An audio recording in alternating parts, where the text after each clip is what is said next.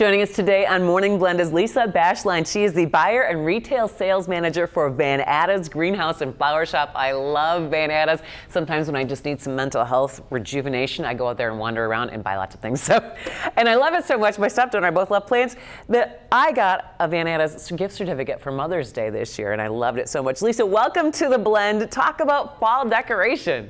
Hi, yeah, it's um, thanks so much for having me here and it's time for fall decorating. September hits, the leaves are starting to change, and it doesn't have to mean, you know, jumping right into Halloween, but you can decorate your home indoors and out with fall type decorations. Some real pretty heirloom pumpkins stacked up by your door or um, in your house really help, you know, bring the season home. Yeah, celebrate the harvest. Now let's talk about fall. That's a great time of year to plant actually, right? It really is. The temperatures have cooled off.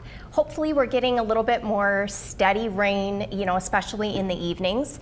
And uh, it's a wonderful time to plant. You've got time for things to root in mm -hmm. before the winter, and then you'll have your new plant ready to go in the spring. Yeah, and talk about getting your landscape ready for winter time. What, what things do we need to do as we're preparing for everything to kind of go to sleep?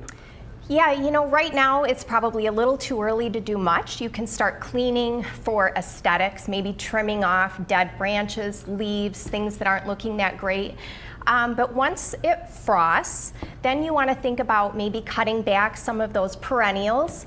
Um, you can also leave some too for shelter for bugs, shelter for um, little critters in your yard over the winter. Um, it's kind of a personal decision. Um, if uh, it's nice to get some of that done yeah. in the winter, leave a little bit more uh, for spring.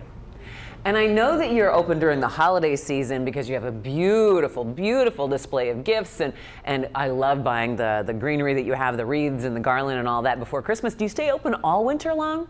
We are open all year long. Um, we make our own handmade evergreen wreaths. Mm -hmm. We have garland. We sell Christmas trees. We have beautiful holiday decorations.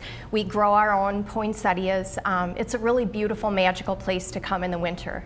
And I love that Van Atta's is a family-owned business for over 40 years in Haslett. If you haven't had a chance to get out there yet, you really want to go check it out, especially if you're uh, into planting and like to dig in the dirt like I love to do. Again, it's so therapeutic and it's fun to celebrate. Celebrate the harvest. Go collect all those pumpkins and put them on display and, and, and get yourself all ready for the upcoming season. Thank you so much, Lisa. Thank you.